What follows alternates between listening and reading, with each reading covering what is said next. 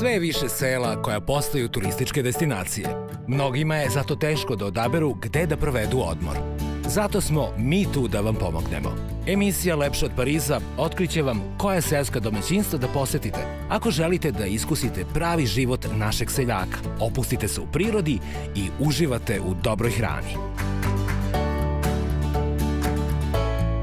Prikazat ćemo vam gde možete otići ako vas zanima aktivan odmor, a gde ako želite više da saznate o bogatoj istoriji i kulturi naših krajeva.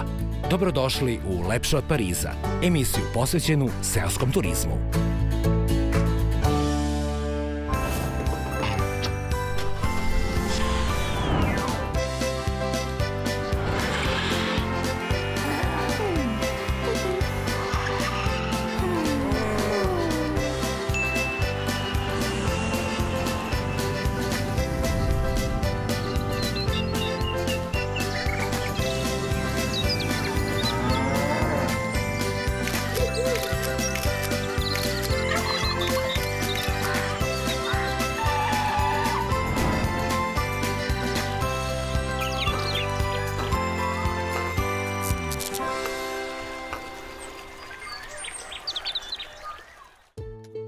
U staroj Hercegovini, na današnjem severozapadu Crne Gore, okružena visovima planinskih venaca, smestila se mala pogranična varoš Plužine.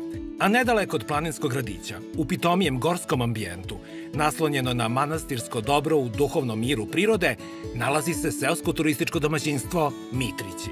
U blagodeti medonosnog bilja, sa zujenjem pčela i mirisom polena, slatku dobrodošlicu, priredit će vam čestiti domaćini kojima su svi gosti uvek dobrodošli – Ekipa serijala Lepše od Pariza imala je posebno zadovoljstvo da tokom jednog ispunjenog vikenda oseti sve čari koje nudi oaza dobrog odmora, da uživa u zdravoj gorskoj prirodi i da sazna puno o jednom od najstarijih manastira Srpske pravoslavne crkve u Crnoj Gori.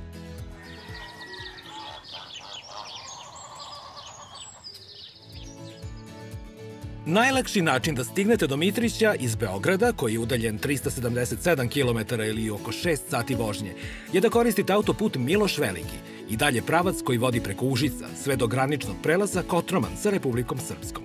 Dalje nastavite obalom reke Drine kroz Višegrad i Foču.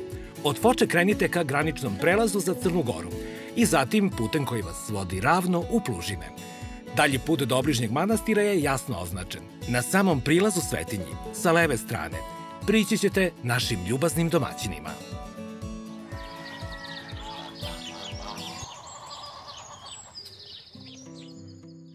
Dobar dan Mitrići, stigo smo i kod vas.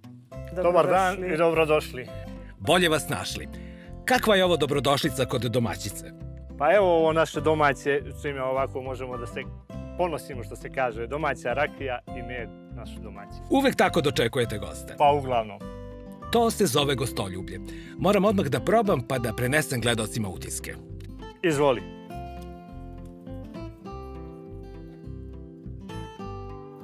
Nisam siguran od čega je med, ali vuče mi na livacki. Da, livacki med. Sa ovih naših prostora, znači uh, Pivska planina. Znači, čisto zdravlje. Jeste. Nema livada. aditiva. Nema, nema ništa, znači to je ono što one donesu, to je to. Pravo slatko blago. A tu je i domaćinovo blago. Tu je domaća rakija, jeste, ajde da probamo i domaću rakiju. Živjeli i dobrodošli nam. Bolje vas našli. Osjeća se voćna aroma. A to je naša domaća rakija, inače to je autohtona kruška, ovdje koja raste kod nas. I to voće se uglavnom e, ne prska se samo od sebe što dadne ploda, od njega pečemo ovu domaću rakiju. Kad ste nas ovako lepo dočekali, okorepili ste nas za razgledanje domaćinstva. Baš, ajde izvolite.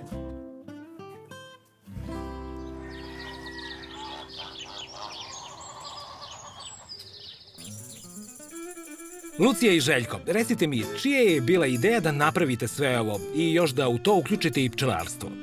A znate kako, sve to počelo nekako samo od sebe. Inače, tu sam rođen, tu smo živjeli, tu su moji i preci, djedi i otac. Onda smo napravili tu kuću koju, koja je bila malo veća nego što nam je bila potreba. A tako dolaskom prijatelja bilo je insistiranje zašto ne bi to izdavali jer je mjesto i priroda izuzetno atraktivna i onda tako smo i počeli. Verujem da ipak Lucija najviše brine o svemu. Jeste, uglavnom ja spremam ovaj, tako za goste, sobe, po potrebi znači ovaj, spremam hranu i briga o gostima što se tiče smještaja. Dakle, vi nas sad vodite da vidimo smeštene jedinice. Da. Domaćice, predstavite na malo smeštaj. Ovo je apartman ili soba? Pa, kako hoćete, znači soba sa kupatilom, znači taj ležaj dvokrevet, u stvari francuski ležaj, tako da kažem, za dvoje. Imamo ovdje ovaj, kupatilo, imamo kuhinju sa šporetom, frižderom, suđem koje mogu da koriste gosti, znači tako jedan ormar. Sve što je potrebno jednoj dvočlanoj ovaj, porodici ili tako. Kuhinja je odlično opremljena. Da li tu može da se sprema i neka ozbiljnija hrana? Pa može da se zgotovi, znači nema rernu, uglavnom ima može da se skuva, čaj, kafa, nešto i za pojesti i tako. Gosti mogu sami sebi da spremaju i da, ako ne žele, ne zavise od vaše kuhinje. Mogu da koriste, znači, ovo ovdje, a po potrebi, znači, može i kod nas da se kuhinja ovaj, koristi. Apartman ima sve što je potrebno jednom modernom gostu. Da li to znači da imate i internet? Imamo Wi-Fi također preko mobilne ovaj, mreže, tako da je to dostupno gostima i zadovoljni su. Recite mi, kakva je izolacija samog prostora? Što se tiče e, noćenja i tokom noći, uopšte nisu potrebne potrebna klima ili neka rasladni uređaj. Ko su vam najčešći turisti? Uglavnom su to porodice dolaze kod nas. Znači porodice sa djecom i oni znači ostanu kod nas dva, tri dana. Znači koriste jedan dan rafting, pa onda koriste obilazak, znači imamo izuzetno fina jezera, Stabanjska i tako i oni su zainteresovani. Kupatilo se cakli. Šta je gostima tu na raspolaganju? Imaju veš mašinu, imaju bojler, imaju tuš kabinu, znači sve što je potrebno ovako za... Gosti kod vas imaju apsolutni komfort. Sve je skockano i higijena je besprekorna. Pa jeste, jeste uglavnom, da. Higijena, mislim da su gosti uvijek zadovoljni pri odlasku što se tiče higijene i usluga. Druga jedinica je veliki apartman. Kako je koncipiran? Apartman se sastoji znači od tri spavaće sobe, dvije dvokrevetne, jedna trokrevetna. Imamo ovaj, dnevni boravak sa kuhinjom, kupatilo, jednu terasu veliku iz, iz dnevnog boravka i spavaće sobe. Dnevni boravak je prilično prostran, kao i kuhinja. Da, da. Ovaj, gosti uglavnom koriste sami kuhinju, e, spremaju sebi i tako da je to ovaj, funkcionalno i znači imaju sve, imaju frižider, šporet, znači protočni bojler, znači posuđe sve za koristiti, eto tako. Spavaća soba je velika i svetla. Namenjena je za dve osobe. Da, ovo je dvokrevetna soba, znači imamo ormar, imamo ove natkasne, tako. Imamo radijatore u slučaju, recimo sad ovaj period, ovaj, neki ovdje su noći malo hladnije, pa eto mogu gosti da uključe grijanje i tako. Šta gosti ne moraju da nose sa sobom kada dolaze kod vas? Pa ne moraju da nose, znači, peškire, sapun, toalet papir, deterđent, to imaju šampon za kosu i tako. Odlično. Koje su cene apartmana? Znači, velikog apartmana je 80 eura. E, sad, zavisi od, od broja gostiju. To je znači pun pansion, sedam ležaja, a ako ih ima petero, onda je cijena manja, za četvoro isto tako i za dvoje također manja cijena. Najveća čar vašeg domaćinstva je prelepa priroda u kojoj gosti mogu da uživaju i sa ove terase. Da, imamo terasu, znači prostranu jeste, ovaj, gosti uglavnom uživaju, sjedu na terasi, gledaju djeca, recimo djeca, gosti koji dođu sa djecom, oni se igraju na livadi, oni ih posmatraju, tako uživaju, piju kafu, sok, tako to.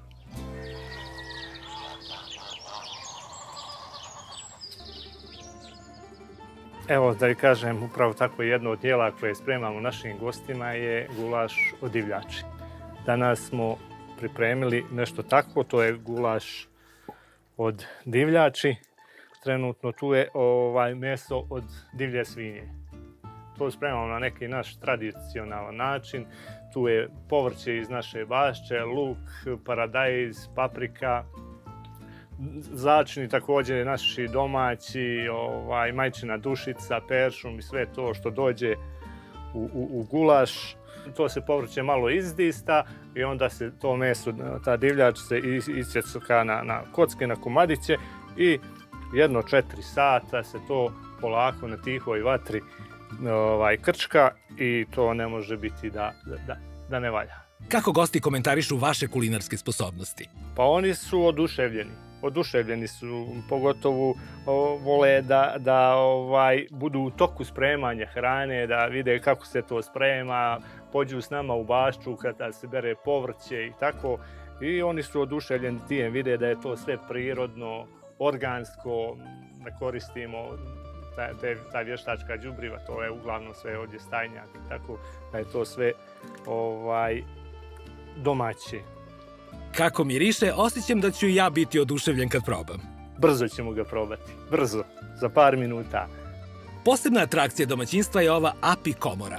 Da li možete da objasnite našim gledocima o čemu je reč?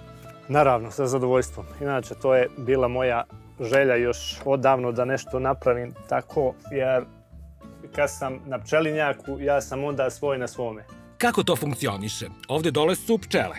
Pa evo vidite, to je recimo jedna košnica na koju je postavljen inhalator.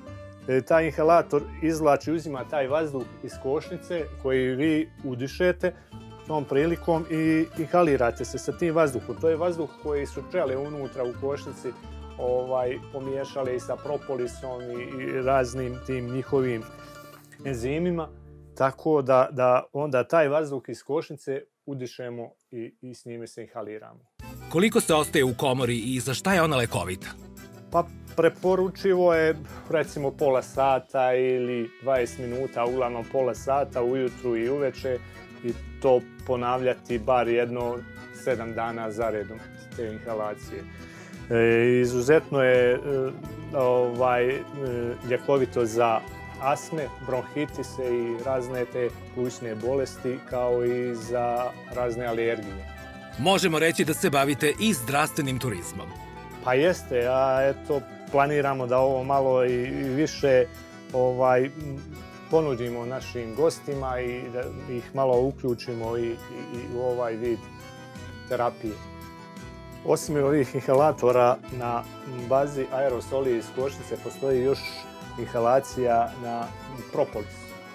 Propolis inače to je vrsta antibiotika koje pčele za sebe koriste kao antibiotik. Pa tako i, i ovdje se koriste i u te svrhe, tako što se ova propo tableta stavi u ovu čašicu, to se uključi, to se zagrijeva, tako da e, to isparavanje iz propolisa se inhaliramo sa njim. Od kad se bavite pčelarstvom? Pa vidite, to ovaj, nijesam ja krenuo s tim, tu, tu tradiciju sam nasledio, pčelarstvom su se bavili moj djed i moj otac, tako da sam ja to naslijedio, samo što sam ja to malo proširio, modernizovao i da kažem na neki način povećao. E, ja imam dvije vrste meda, ugrubo rečeno dvije vrste meda. To je primorski med koji pčele kupe na Primorju u Radovićima i livatski med koji pčele kupe ovdje u Pivu. Koje kategorije je vaš med? Mislim da je prve kategorije.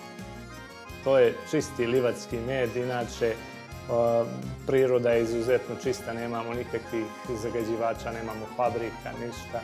Tako da mislim da je med vrhunskog kvaliteta. Imali smo zadovoljstvo da probamo rakiju koju vi pravite, a ona nastaje ovde. koje još vrste imate i kako ih proizvodite? Znate kako kod nas ovdje u pivi, kako kaže pjesnik, kad dođe zima i padne snijeg, pakulje pjele pokriju breg, onda počne pečenje rakije. Mi ovdje uglavnom imamo našu domaću jabuku, isto od koje pečemo jabukovaču rakiju. To je jedna vrsta od, od tih rakija. Zatim imamo pivsku šljivu, to je šljiva požagača. Mislim da je jedna od najboljih vrsta šljiva koja je moguće za, za rakiju. Od nje pravimo šljivu.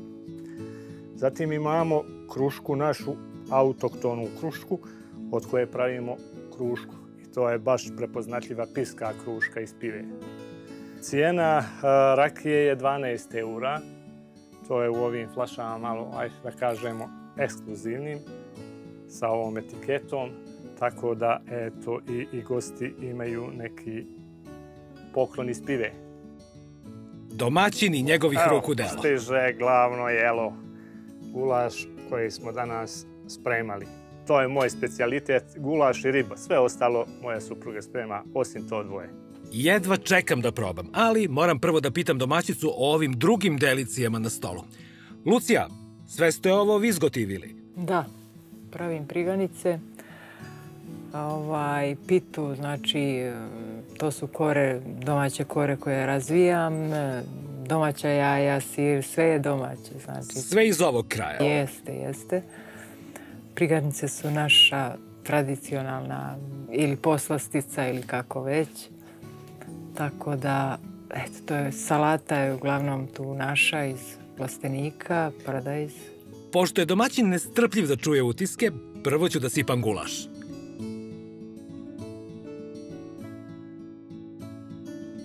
Bravo domaćine, odličan je. E sad, Lucini gurman Luci. Probat ću slatku varijantu priganica. To je pravi džentlmen. Prvo dami pa sebi.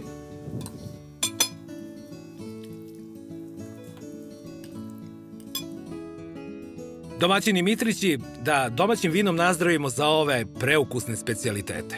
Živjeli u zdravlju. U vaše zdravlje.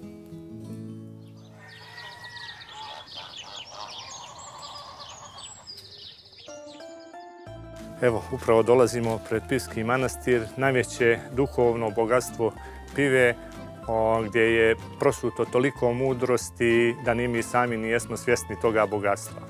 Evo, tu će nas dočekati naš otac Iguman Jeftimije, znači upravitelj manastira pive. Igumane, izvolite. Dobar dan, pomaže Bog. Došli još jednom. Zamolio bih vas da nam kažete nešto o velikom značaju koji ovaj manastir ima za sve pravoslavne vernike. Pa dobro ste rekli, za vlastilo srpstvo nije samo za ovaj kraj. Manastir Piva je vrlo značajan manastir, istorijski, kulturno i duhovno. E, možda i ubraja se Ostrog Cetinje, Morača Piva, kao najznačajniji manastiri. E, arhitektonski manastir Piva je originalna, znači nema ni u Srbiji ni u Bosni e, ovako izgleda manastira kao troborna bazilika bez kupole. I ovdje je, zaista je bio centar duhovnosti za čitav ovaj kraj, za Hercegovinu.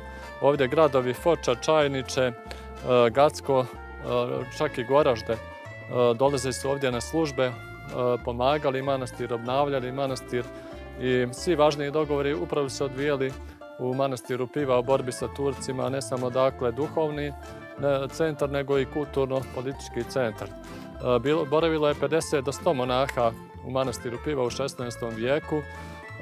Ovdje je bila ikonopisna škola, prepisivačka škola, zanatske radionice i uglavnom su monasi E, išli na Svetu Goru i Rusiju i tako su donosili pomoć, mislim knjige, odežde, a i duhovnost. Uglavnom, manastir je, on tipično vizantijska gradnja. On je spolja skroman, a iznutra je zaista bogat. I kad se približaju ljudi ovom manastiru, onako ne očekuju neku impresiju posebnu.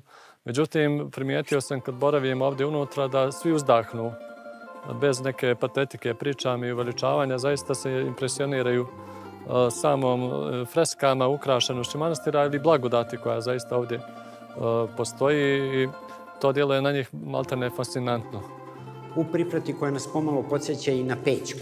Najlepše ikone su, znači, u sam ulaz, Arhanđel Mihajlo i Gavrilo, koje vidite, i svetitelji koje Srbi vekovima poštoju. Znači, tu su nam dati Bogorodica, presuda Bogorodica, Gospod, Sveti Jovan, Sveti Sava, Sveti Simeon i Sveti Stefan Dečanski sa aranđelima. Sada smo došli u naos i u ovom naosu ističu se velika zidna celina koja je podeljena na prostor svoda u kome je sam početak ove priče velike, zatim imamo u nekoliko prstenova dato žitje gospoda našega Isusa Hrista, koje je bogato i toržestveno ilustrovano, a sa naglaskom na njegovo stradanje. I pored toga imamo dva vrlo atraktivna traveja. U jednom se bavimo čudima gospodnjim i tajnom isceljenja bolesnih, a drugi je posvećen severni travej, dakle on je posvećen Svetom Jovanu Krstitelju prvi deo i hodočašću i hodočasnicima drugi deo. Osim ovih velikih celina, vrlo tožestveno je ukrašen oltar, koji je jedan od najvećih i najlepših za bogosluženje u našoj crkvi, kao i ikonostas koji je prepun bogatih ikona, gde imamo tri čuvene čuvena majstora, majstor Longina, njegov učenika majstor Jovana i veliku i divnu celinu Rafajlovića na carskim dverima. Znači, 1250 kvadrata je jedna od najvećih ikad oslikanih celina kod nas, tako da je to atraktivno. I jedna internacionalna kultura, da kažemo, balkanska. Majstori su dolazili i sa juga i sa severa i tako da ovde može čovjek na jedan divan način da upozna pravoslavnu umetnost.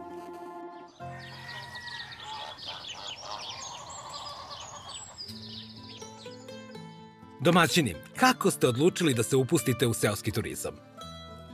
Pa, to je bilo negdje 2010. godine kad smo napravili ovu kuću ovdje. A napravili smo je tako malo višu nego što su bile potrebe naše porodice. Onda djeca odrastaju i tako odlaze, tako da smo imali višak prostora, ovaj, čitavi gornji sprat. I onda na insistiranje prijatelja sa strane, zašto ne bi to izdavali ljudima koji su zainteresovani, ljeti da dođu ovdje malo, jer ovo je predivan kraj, izuzetno je ovdje mirno, tišina, pravi raj za odmor. I tako smo i krenuli sa, najprije su bili neki prijatelji od naših prijatelja, tako posle smo krenuli na booking, pa je bilo i zainteresovanih nekih agencija koje su nas posjetile i njima se to svidjelo ovdje. Tako da imamo dvije, tri agencije preko kojih isto radimo, s kojim sarađujemo. Lucija, interesuje me šta su poteškoće na koje može da se nađe u ovoj vrsti turizma i koje su prednosti koje učine da se poteškoće zaborave?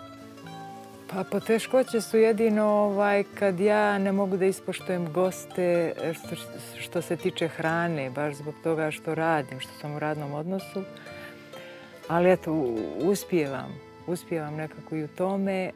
A privilegija je upoznavati se sa ljudima, znači sa raznih strana svijeta i tako dolaze kod nas i iz Amerike, iz Azije, iz Rusije, iz zapadne Evrope. Uglavnom su to naši gosti koji nas posjećuju i koji borave kod nas. To jeste lepo. A recite mi, koji bi bio savjet za one koji se odluče da krenu vašim stopama? Pa šta, e, mislim da, bi, da tu treba dosta kockica da se složi da bi sve to funkcionisalo. Ovaj, to što nam je Bogom dato jeste ta priroda. I sad e, to treba sve iskoristiti. A osim te prirode, mislim da osnovno je ta komunikacija sa gostima. Dosta, ovaj, evo, nama je, mene lično je problem to nepoznavanje engleskog jezika i onda malo smo tu, ovaj, da kažem, oštećeni s te strane e, za tu komunikaciju s gostima. To je nešto mnogo ovako bitno i to, mada s te strane nas djeca pomalo ispomažu, oni su u, u tome i tako da se to ovaj dopunjujemo. Seoski turizam je najbolji ako radi cela porodica. Pa sigurno ovaj, da je to znači uh, da bude u krugu porodice, da to porodica se bavi time, tako je slučaj i kod nas. da mi to uglavnom sve završavamo i ovaj, ja i suprug i sinovi, tako da... Zbog čega bi naši gledoci trebalo da dođu baš kod vas? Pa e, nešto na što se mi uglavnom oslanjamo jeste zdrava netaknuta priroda, mir i tišina i sami Pivski manastir koji je u neposrednoj blizini nas. Domaćice, šta vi kažete? Pa uglavnom je to to. Eto, imamo, imamo lijepu prirodu, znači jezera, prirodna jezera, znači to je onda ovo naše Pivsko jezero vještačko koje je kanjon Komarnice baš izuzetno lijep i atraktivan kojim se može samo vodenim putem proći tako da je to izuzetno ovaj, lijepo vidjeti i tako ta priroda uglavnom. Da li je ovo posao u kom radi zadovoljstvo idu zajedno? Pa jeste, mislim svaki posao ako čovjek ne radi sa zadovoljstvom, on ne može da uspije. Jedino ako se nešto radi iz ljubavi i sa zadovoljstvom, onda je uspjeh ovaj, neizostavan. Lucija, da li se slažete sa suprugom? Pa uglavnom se slažem. Da. Hvala na lepom razgovoru i da budete uspešniji još 100 godina. E pa važi, vama hvala da ste nam dobrodošli, pa opet da nam dođete, da se opet vidimo i družimo. Hoćemo. Živjeli. Živeli. Živjeli, živjeli. Dragi moji Mitrići, priredili ste nam ugođaj za sva čula. Stvarno smo punim plućima doživjeli svaki trenutak proveden kod vas. Želim vam da ostanete baš ovakvi i da vam gosti dolaze u što većem broju, a i da se mi što pre vratimo kod vas. Dragi prijatelji, hvala vi na vašem trudu, na vašem radu, što promovišete ove naše prirodne ljepote. Drago nam je ako ste bili zadovoljni. Još jednom i velika hvala i želimo vi srećan put. I ja također želim srećan put i da nam se opet vratite, dođete i Рачунайте на то. Приятно!